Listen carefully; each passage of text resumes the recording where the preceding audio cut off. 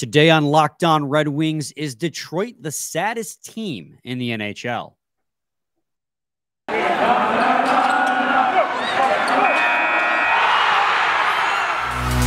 Your Locked On Red Wings, your daily podcast on the Detroit Red Wings, part of the Locked On Podcast Network.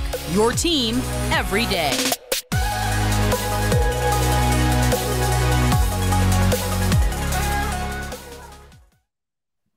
Welcome back to the Locked On Red Wings podcast. We are your hosts, Brian Fisher and Scotty Bentley. I'm a podcast producer for the Daily J, a WWJ News Radio podcast. Well, Scotty's a freelance journalist for the Detroit News, as well as the host of Locked On Tigers. And we got a lot to get to in today's episode. Uh, the emergency recall of Matt Luff is the first thing we'll lead off with. And then, second, we'll talk about whether or not the Red Wings are the saddest team in the NHL, and we'll explain what we mean by that when we get there. And then in segment three, we'll do a game preview of the matchup in Nashville, Bridgestone Arena against the Predators. But yeah, back to Scotty. Well, first of all, Scotty, how are you on this fine? We're recording on a Monday evening, but how are you doing? Pretty good, man. I I I, it, I could cry of happiness thinking about the fact that the sun doesn't set until 7:30 tonight. That's a win. This is uh, to the people who complain about losing one hour of sleep in one random day in March, but the it's not dark at 4 p.m. I, I don't know what to tell you. I will never agree or understand with that logic. This is the best thing ever. Uh, and I'm pretty pumped about it. The Tigers also signed, uh, if you're watching the World Baseball Classic, there's like this 21 year old kid from Nicaragua that struck out three of the best players on the planet, and the Tigers just signed him right afterwards. And it was sweet. And like the fact that we're part of that story is like kind of cool. So. All right. Well, now that Scotty's put everyone to sleep with baseball talk, we can get into the episode. That's uh, great. I love you, Scotty. Um, you too, buddy. So the Red Wings recalled on an emergency basis Matt Luff from the Grand Rapids Griffins. Uh, before we get into the possible whys as to the emergency recall occurred, because we still don't know why, that's an emergency basis. Uh, Matt Luff in his last 10 games with the Grand Rapids Griffins is three goals, six assists. If you want to go to 11, he's got four goals and six assists. He has been effective in the AHL. We saw him earlier in the season. Honestly, have a in a limited amount of time we've seen Matt Luff with the Detroit Red Wings. I have a huge soft spot for him already.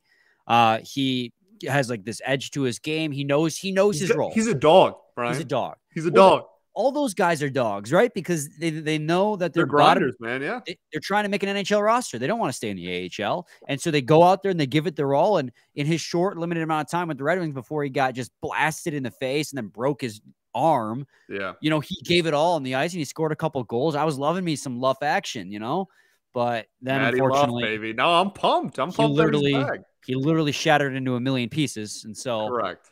And then everyone yeah. else got healthy before he got healthy, and then he went back down to the Grand Rapids. Yeah, no, I mean, you know, it, it was uh he's got a two way, right? So like this was always kind of the. I'm not sure. I'd have to double check. Let me double check on that. Regardless, but, yeah. it, it's it's a uh he's a really nice depth piece that we talked about over the off season, and yeah, I'm I'm happy for Matt Luff. I'm I'm happy for him. That that that is a dog. That's the dog, and uh, I hope that he can uh, he can kind of find some production at the NHL level too. Because as you've pointed out, he's actually been producing at a pretty darn good clip there in Grand Rapids. So. Uh, let's see. He's an RFA. Man, I cannot believe he's only 25 years old. For some reason, I had in my head that he was way older than that. But from what I can tell, it was it, yeah, it is an NHL level contract. Respect. League minimum. Um, I believe. Oh, maybe not. I get see. I'm on I'm sorry, guys. I'm sorry to our listeners for not knowing this offhand. I do apologize. Uh, Matt Luff signed a one-year, seven hundred fifty thousand dollars contract with the Detroit Red Wings. Cap, cap hit of seven hundred fifty. That's the league minimum. Qualifying offer, minimum guaranteed salary four hundred thousand. So maybe it was a two-way contract. But again, regardless, oh yeah, because he has a minor's salary. So yes, it had to have been a two-way contract um, with the Detroit Red Wing. Regardless, I'm happy for Matt Luff getting called up, but as to the why, that it's an emergency basis. Yeah, that's this is where it gets weird because yeah. at I mean we're recording this at six. It's currently 6:37 p.m. on Monday, March 13th. We have no idea. Yeah. I, I mean, like the emergency recall would would point to like an, an injury that is obviously an emergency and like just happened and they need to fill that roster spot right away. But no one seems to know of any injury that happened during the back to back against Boston. Larkin went into the tunnel for a second, but he came back out and like played well. So I I I, I don't know. I, I there's there's really it's not um it's not Fabs because they already addressed that. It, it's it's weird. I, no one really knows. Well, the weird thing is, is the Red Wings have interesting. Czarnik is on an emergency recall too. I did not recognize, realize that. So both of those guys are on emergency recall. If cap friendly is correct. So it just if if Czarnik was called up to address the Fabbri, it makes you wonder if maybe there's another injury that has taken place that we don't know about and it's going to be a day-to-day thing because that's usually what you would use an emergency recall for is just like somebody who possibly might miss a starter. That we just saw with alexander nedeljkovic they Ville Husso missed one game and so they emergency recalled uh, alex nedeljkovic. Right. So you know you wonder uh, who's injured and i know there's some speculation because larkin went down the tunnel at one point during the red wings game on sunday if whether or not larkin is the injured player uh, quote unquote but he also then came back and scored a goal in the power play and looked fine. Yeah. He also he, he also tends to go down the tunnel quite a bit oh, during so hockey games. So it's it's hard to exactly tell who is uh who's the who's the emergency recall for. Um or maybe it's just could it possibly be that they just did it because they could? I don't, Maybe we don't know. yeah, I mean, at this point, your guess is as good as mine, brother. I don't, I don't know. I really don't. I they, you know, if you have a roster spot, you can, but I, I don't know why we're we're throwing the emergency label on there. Then I don't know. It's it's it's weird. Yeah, I, I'm. I honestly have no idea. And in the end, hey, I'm happy to see some more Matt Luff hockey. I, I uh, I root for him every single time he's on the ice, and I hope he scores some goals for the Red Wings on a way to a win over the Nashville Predators. But first, yeah, let's see here. When a team is short players by reason of inca- incapacitating injury or illness by a league suspension to its players, now that's something we didn't consider. Somebody getting suspended? Hmm. I don't think so. Nobody did anything dirty. Exactly. Just just because the the league likes to spit on the Detroit Red Wings when it comes to yeah, fair uh, officiating. But yes, that I have no idea. I have no idea why they would do an emergency recall unless there was an um, an emergency injury. So uh, let's just leave it at that because yeah. I there's no idea. Who knows? Let's move on to the second topic, the main topic. Uh, we'll set it up, I guess, here, and then we'll go to a quick break, and then we'll get into it. But Micah Blake McCurdy of Ineffective Math, also the guy who runs Hockey Viz, posted this graphic. And for those who are listening, I will break it down. But first, I want to get it up. And he calls it the sadness graph. I'll zoom in for you guys as well. And what, it, okay, well, it just readjusted and made it small again, but that's cool. And what the sadness graph is, is it's the chance of missing playoffs and not picking in the top five, including lotteries and trades. Now, this was entering March 9th. This is before the weekend, so it may have shifted.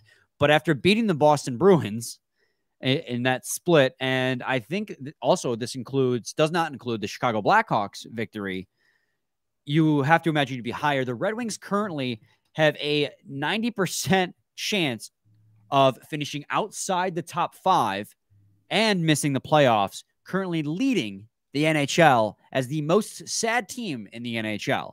So this graph just basically implies that the saddest team in the NHL is the most middling team right. in the NHL. The guys who weren't good enough to make the playoffs, but weren't bad enough to pick top five. And when we come back, we'll discuss whether or not being sad is something to be sad about.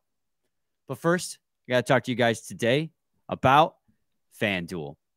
It's the midway point of the NBA and NHL season, and now is the perfect time to download the FanDuel app, America's number one sportsbook, because new customers get a no sweat first bet up to $1,000.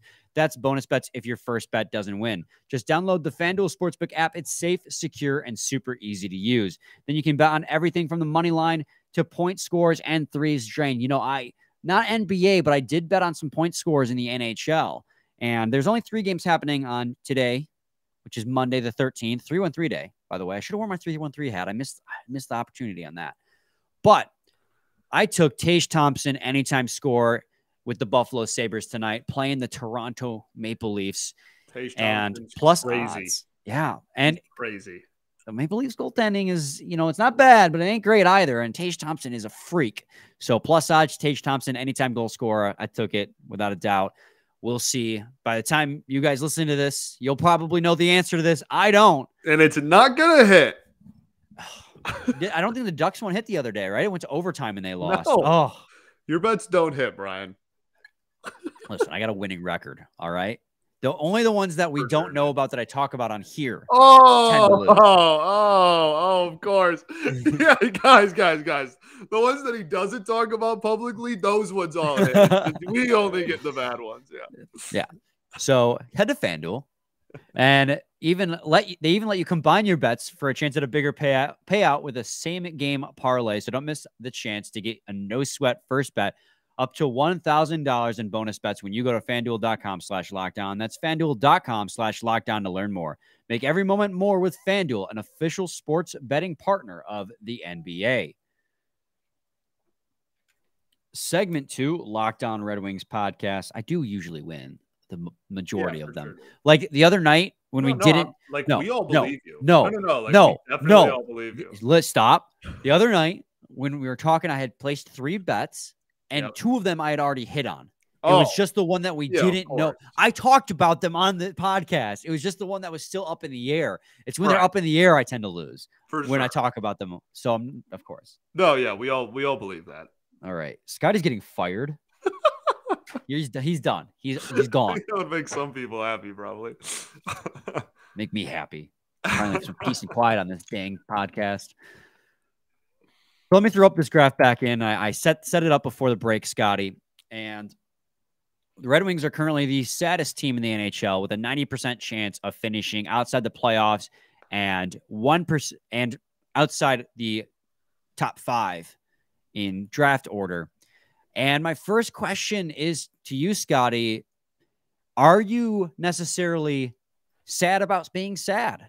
you know, I, I given the criteria, it definitely it it, it makes sense why we are here. Um, th- this is a Red Wings team that uh, essentially where we stand right now, there is zero hope for the postseason. That's pretty much guaranteed not happening. And there's also pretty much zero hope for like a tankathon, you know, like make a run at Bedard type of thing. Like that's also even even a top three pick is like not happening, right? Hmm. So it, it, it given the criteria, it does make a lot of sense. Am I sad about being sad? Absolutely not. And the reason for that is because I we we predicted this. This like we this is what we wanted. Like this is literally what Brian and I wanted going into the season. We, we were like, hey, we we want to be one of the better teams to miss the postseason. I think that would be a huge step in the right direction this year. And then next year, if they miss the playoffs, then it's it's time to start having a, a, a more like deeper kind of philosophical conversation about what we're doing here. But this year, I, I don't think playoffs was was ever should have been a, a, legitimate expectation for this fan base. And I also don't think even like yes, Bedard is is you know hyped up to be generational. Like it's it's uh, obviously that would be a huge get for whichever organization is going to land him. But I, I, I don't think I, I I had this conversation a lot with Your mom. Wow, that was crazy. no, um, that was that was just absolutely insane moment right there. But uh, uh, respect, honestly. Um, this was a, a conversation I've had with a lot of people throughout um, the the Tigers rebuild, as well as kind of just like all the fan bases rebuild. Is like a rebuild is not you are the worst team in hockey for like five years, and then you just magically are in the playoffs. That's not how it works. You don't just get to to, to try to be as bad as possible and tank as hard as possible and have the worst record in the league for for three, four years in a row, and then boom, now we're you, you know like a, a 14 seed. That's like not how any rebuild ever has worked. It's a it, it's a trajectory thing, and like where we're at, it just it didn't make sense to curve back down and tank, but they also aren't at at the point of the postseason, and so uh, I'm after game 82, we're we're probably going to talk about this season, and I'm going to come on this show and say this is a successful year. And uh, I so no, I, am not sad about being sad. I guess long long version short. No, I, I agree with you, and I'm happy to be sad on this graph right. because it what this graph screams to me is growth. This graph screams you've improved year over year. And they have. As much as the, there were parts of the season where the team struggled and they were frustrating, there were parts of the season where they were winning inexplicably and making a run at the playoffs and then they uh, lost six straight, and now they're back to win loss win loss. They're inconsistent for sure. Um, but regardless of that, the team has shown growth, and you know that growth comes with a cost, and the cost in this case is finishing outside the top five and finishing outside the playoffs. Like you said, Scotty, and we've said this so many times throughout the season. This is where we wanted the Red Wings to be because we thought a successful step forward year was going to be sitting right outside the playoffs. And they were in the conversation. They weren't even in the conversation. They were literally in a playoff spot late February yeah, before like a week before the trade deadline. Yeah. Before the wheels came off for like six straight games and right. we had to sell. That's a massive improvement. Like it's March and they're still it's March 13th and they're technically not even out of the race. They're like 8 points out, which is out, but if they go on a run, I'm not expecting them to, but if they go on a run, they could very right. well, you know, be there. So when I see that they're, they're ranked the having the best odds at being the saddest team in the NHL, I look at that and I look at that as a success. It means you took a step forward this season without a doubt. Because again, to your credit, no team goes from top five pick Stanley Cup final. It's very right. rare. It does happen, but that's the exception, not the rule. Most rebuilds go through this phase. Now, what happens next is it's okay to be in this zone for like one, maybe two years. But after that, you don't want to be what the Carolina Hurricanes and Minnesota Wild were for the better part of like a decade, where they were stuck in the sadness in zone. our own city. The yeah. Detroit Pistons were the definition of of this, right? The, the for like 12 years, the Pistons were one of the best teams to miss the playoffs every year and they were the most Ill- irrelevant franchise in sports. Love them to death. Like, like genuinely, they they they, they never had a, a top five, six pick, and until Cade happened, like that that really broke the spell there. So we've even seen it in in, in our own city limits, and yeah, like this, this to your point, like the, the next part, and we kind of talked about this after the trade deadline too. For me, every single rebuild is is like make or break time is right where we are at. This upcoming offseason, I think, is the most important offseason in the last, uh, I mean, take your pick, seven years of Detroit Red Wings hockey. Like this is this is vital. So many rebuilds that you you plummet, you bottom out, you start coming back up, and then you hit a point where you either continue to climb and you break through and you take that next step and you're a playoff team, or you go back down and you have rebuild 2.0. And I, I think that we are exactly at that spot where one of two things is going to happen. And and so i it is you know i don't know like anxiety invoking like it is a little bit stressful to think about the future but uh, uh, does it does it make me sad about this season? Absolutely not. It, it just this is this is really like a key point in the rebuild and i think that we're exactly where we're supposed to be. I completely agree. This is i think it's okay to do this for a year or two but you don't want this team to plateau and get stuck here this is the point and we've mentioned this on previous episodes but this is kind of like a rebuild's critical point you know, yeah. this is where frustrations begin to boil. This is, I mean, our frustrations boiled earlier and probably a little bit too soon, if I'm being honest, at least with me. My frustrations boiled. I don't want to speak for you, where I just wanted the team to start winning and it just, they, they weren't built for it as for sustained success yet. I mean, yeah. this is the part where Steve Yzerman's got to do the hardest thing, and that's build a winner. He's got his guys in the system. We have barely seen any of those guys yet, but he's got to get guys here now. He's got to get guys to the Detroit City, playing out a Little Caesars Arena, and break them through this ceiling, this glass ceiling, so to speak, to get them from, you know, your your ninth, tenth, eleventh best team in the uh, conference to your I mean, first, you know, shoot for wild card and then move on to the divisional. Right. You got to break through to become one of the better teams in the conference. And right now, they're just like on they're they're on the cusp of that, but they're just missing a few pieces. But that's the that's that critical mass moment of the rebuild. Uh, the the best way I, I think I can articulate it is anybody can lose on purpose. Yes. Anyone can harder to win purpose. on purpose. right. So the bottoming out part of the rebuild, anyone can do. Now you want to get good value for the pieces you trade away, obviously. And Yzerman, I think most people have been pretty pleased with the value he's gotten in a lot of the trades. But anyone can can strip a team down and lose intentionally. Where rubber meets the road is at this point where you're starting the upswing and can you take them to the next level and and make a winner absolutely uh, so when we come back we're going to break down the game preview against the Nashville Predators, the second of two matchups between the two teams. So stay tuned to Locked On Red Wings. But first, I got to talk to you guys today about none other than AG1.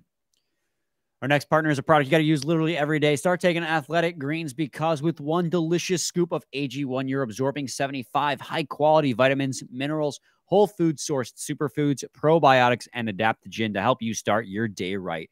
The special blend of ingredients supports your gut health, your nervous system, your immune system, your energy, recovery, focus, and aging, all those things. It's lifestyle friendly, whether you eat keto, paleo, vegan, dairy free, or gluten free, and contains less than one gram of sugar. It's got no GMOs, no nasty chemicals or artificial anything while still tasting good. And it supports better sleep quality and recovery, supports mental clarity and alertness. It's the one thing with the best things. Athletic Greens uses the best of the best products on the latest science with constant product iterations and third party testing. And it has over 7,000 five star reviews to back up all those bold claims. So, right now, it's time to reclaim your health and arm your immune system with convenient daily nutrition. It's just one scoop in a cup of water every day. That's it. No need for a million different supplements or pills to look out for your health. To make it easy, Athletic Greens is going to give you a free one year supply of immune supporting vitamin D and five free travel packs with your first purchase. All you have to do is visit athleticgreens.com slash NHL network. Again, that is athleticgreens.com slash NHL network to take ownership over your health and pick up the daily ultimate daily nutritional insurance. Segment three, Locked On Red Wings podcast, almost at segment two, trying to go back in time. That's how much I love talking to you, Scotty. I want to drag it out as much as possible, buddy. Remember like 10 minutes ago when you said you hated me and you wanted to fire me? I'm bipolar. That was a fun time. so, yeah, everyone knows I'm kidding. Everyone knows I love you. The Red Wings play the Nashville Predators tonight. By the time you're listening to this, eight o'clock at Bridgestone Arena in Nashville. Been to Bridgestone, by the way. Uh, during not during the season. I visited Nashville for a summer vacation. Bridgestone is a really nice arena. Nice place to watch a hockey game. I I do have a Carhartt Nashville Predators hat that I am not allowed to wear on this podcast anymore after a former host got into a Twitter fight with Nashville, and so we all have to permanently hate. I don't I don't like Nashville. I'm just, just an NHL so fan. funny. that night that was yeah, that was a wild evening. Nobody cares when I wear the Vegas hat, but as soon as I wear the Predators hat, it's like Brian, take that off. It's like guys, I'm just a hockey fan. I like to collect hockey hats. I'm not allowed to wear that one anymore. Not allowed. Correct. Thanks, Nolan. Uh, it is time, Nolan's fault. it is Nolan's fault. Last time these two teams played, uh, the Red Wings shut them out three to nothing, and I had to go solo because Scotty ditched me for some one one reason or the other. I can't remember what you were doing that night. Uh, but I went solo after a 3 nothing win. That was in the early in the season and the Red Wings were clicking. And Ville Husso carried Detroit, and they were third in the division at that point.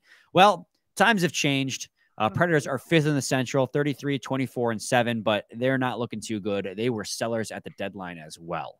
So, Scotty, what are we looking for in this game, or what should we expect in this game? I guess is the better question.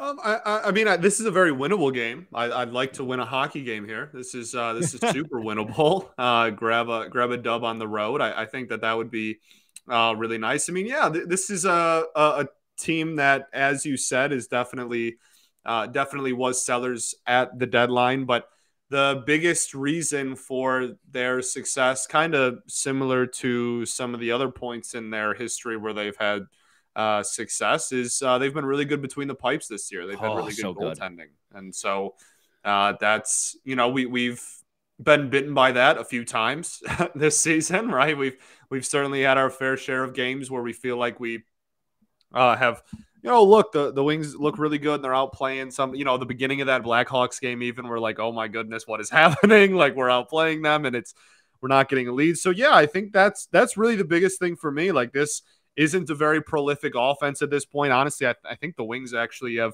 uh, a better offense than Nashville this season. This isn't uh, a defense that doesn't allow a ton of shots or anything, but just very, very good goaltending and, um, that will probably be the storyline of this game. If uh, if Husso starts for us too, is just going to be kind of a a battle in that. Yeah, I mean, I think absolutely to what you said. This is a, absolutely a winnable game. Like uh, I almost said absolutely, and like you said again, Jesus, Brian, get it together. But between the pipes, they have been very good. Juuse Saros has a two, 917 save percentage in 49 games played. Their backup, Kevin Lankinen, has a 925 save percentage yeah. in 15 games played. Uh, granted, a smaller sample size, but that's still very impressive for a backup. I mean, that's a really good one and two combo, one and two punch for the Nashville Predators. And they're not coming off a back to back or anything. So I would expect to see Saros again. Uh, you know, in my opinion, there's three guys who should be your Vezina finalists. And right now that's Juuse Saros, Linus Ullmark, and Ilya Sorokin. Those yeah. three guys have been unreal this season, and it's just it's kind of a shame that Saros and Sorokin are getting overlooked, in my opinion, just based on what uh, Linus Ullmark's done with the Boston Bruins because the Bruins have been so dominant. Saros has been so damn good. Tough to go up against a team that literally, in, fact, in the middle I, of March, has ten losses. Yeah, I don't know what's going to happen in a few years. You're going to be looking at a, a situation where the Predators are going to be probably moving either. If Askarov is exactly what they think he is, the guy they drafted in like what the first round. I remember doing a player profile on Askarov with Nolan two years ago. Yeah. Um, that yeah, he, incredibly highly regarded uh, Russian goalie prospect that everybody is still very high on, just as they were going into the draft. Yeah. So if he is what they think he is, and Juuse Saros continues to have this level of play, I'd keep an eye on the Nashville Predators goalie situation if Seabass doesn't come along and be the guy that you want him to be, because you could you could get a guy from the Nashville Predators that's relatively young, if, if it's Juuse Saros, still relatively young, that's playing out of his mind behind a bad Nashville Predators team. Now, granted, the Nashville Predators are helped out by the fact that they do have Roman Josi on their back end. And, you know, he's right. more of an offensive style defenseman, 58 points in 64 games played. But I mean, outside of that, especially after they've sold off so much, you know, they're going down the line. Matt Duchene's got, he's had a nice season, 51 points, 63 games. Filip Forsberg, uh, 42 points in 50 games played, and Mikael Granlund, 36 points in 58 games played. But that's it. Those are the only four players over 30 points this season. Yeah. Offensively, this is a beatable team. Very. These yeah, guys, I mean, like I said, I, I think it's really gonna gonna start and end with uh, with goaltending, maybe for both teams.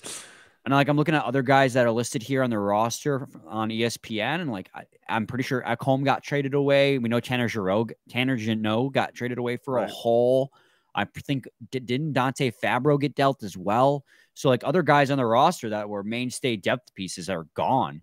I mean, Mattias Ekholm was a defensive stalwart back there for them, and he's out of there. So this is a weaker team, much like the Red Wings are, to their credit. But again, winnable game. Offensively, they don't they produce less than you.